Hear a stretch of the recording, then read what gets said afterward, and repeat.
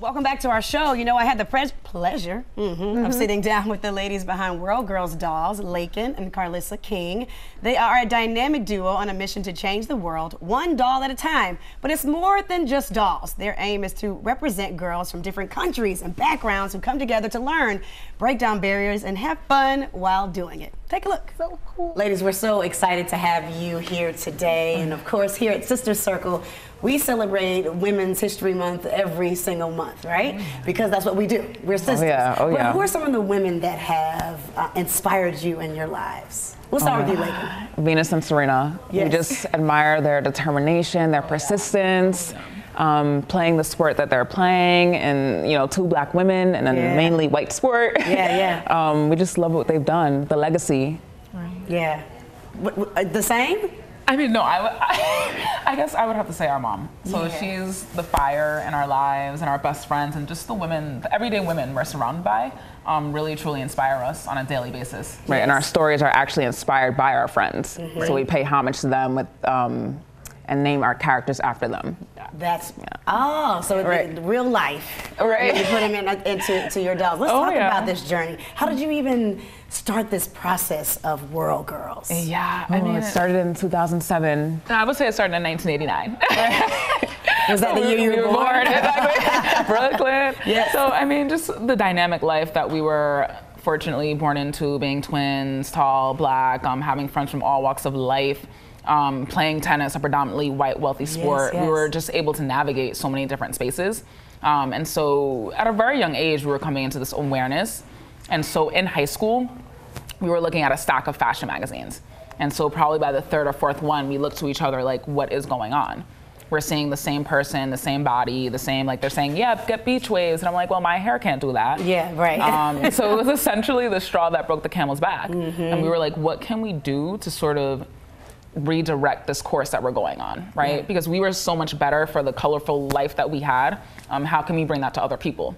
And so two days later, like our school's like super crowded in Brooklyn, and I'm like, what about like these dolls? Like they represent girls from around the world, so that we can celebrate one another. And that was it. rest that was was that. history. Exactly. That you know, for some people they hear that it's like, what do you mean the rest was history? Like, what, what about the money? What about the all this? well, that- that, that part. several years that later. Wow, but glad that all of those things took place so that you could be sitting here Oh, yeah. today. Let's talk Oh, yeah. about the toy industry and where it is.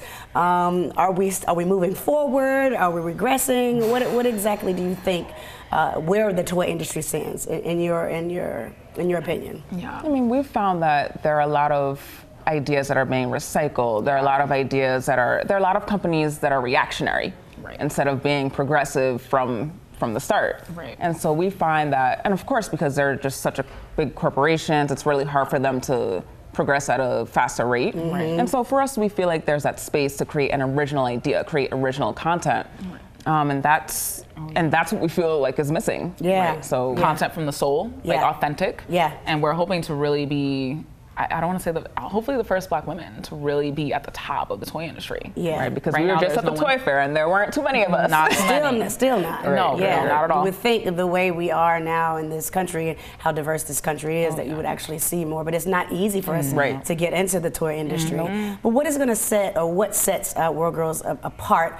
From everybody else. I mean, you mentioned, you know, you have the characters: warrior, healer, explorer, Right. rebel, and scholar. Exactly. Does that is that what do you think separates you? Right. So we have, we always say team, traits, and story. So our traits, so again, our dolls represent girls from different countries and backgrounds. They're brought together at the top secret, oldest, baddest school in the world called World Girls Hall. And from there, because we love like categories, archetypes, like astrology. Yeah. So they're warrior, um, healer, um, explorer, rebel, and scholar. Right? And we created those traits so that girls would identify more with the dolls' um, traits and personalities Yeah. rather than like her superficial. Right. Exactly. So so that's what happens, and they're, they're a team, Yeah. right? So our dolls are all interconnected. Um, it's all about celebration and learning from one another, and Mm-hmm. then story. So we have the story. There's content there. So we're trying to build a dynamic world. Yeah. Well, how good does it feel to like do this together as twins, as tennis players? and then, of course, your dolls were at the U.S. Open. They They were. So I know that was a, like a, a, a long, were. convoluted question, but doing this together Yeah. as sisters and knowing that someone is taking notice Yeah. to, to what you all are doing, how does that make you feel? Yeah.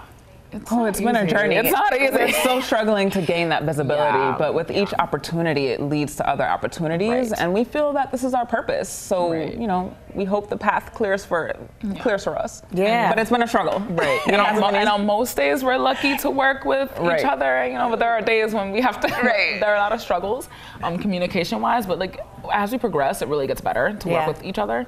Um, and yeah, it's Yeah. been, You know, what would you tell the young girls? I mean, I have two daughters, Yeah, 13 know. and Bailey 10. and Carter. Bailey and Carter, yes, they're they're um, softball players, swimmers. Yeah. Um, but I also want to like push on them entrepreneurship. What advice would you give to girls like Bailey and Carter who are into sports, who have that entrepreneurial spirit, as to continue to fight for the things that they Yeah. want, and and in that those dreams that they have for themselves? Exactly. I mean, I think anything you create has to come from the heart. It has. It can't just be a trend. It can't just be, you know, the trend du jour.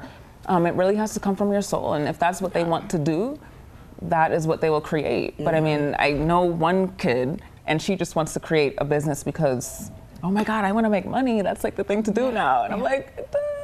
you know, it has to come from the heart. Yeah, yeah. Um, And just, I mean, for me, I'm always about like, again, you can change the world in little and small ways, Right. but think about what what kind of mark you're going to make on the world, like what you're good at, your gifts, and think about well, how can I affect people's lives for the better? yeah. with those yeah. gifts. How proud are your parents of you?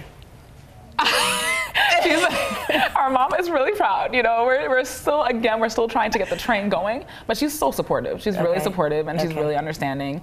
Um, so we're really lucky in that way Good. to be able to keep the dream alive and going. Yeah. Awesome. Well, that's fantastic. I'm so happy that you all have come to share your story. You just don't know whose lives you're influencing by yeah. telling your story and living your truth. World Girls is everything. Oh, thank you, Rashan. Thank you so Take much over. for being Thank you, here today. Thank we you. appreciate you. These amazing superstar women, the creators of World Girls. everybody. Thank you so much. Thank you for having you. us. You're so welcome. Yes. We are so proud of Lakin and Carlissa King. For more information on World Girls and where you can purchase a doll, visit their website at teamworldgirls.com or on Instagram at Team World Girls. Up next, we're celebrating International Women's Day in our Oh, full yes. circle. More women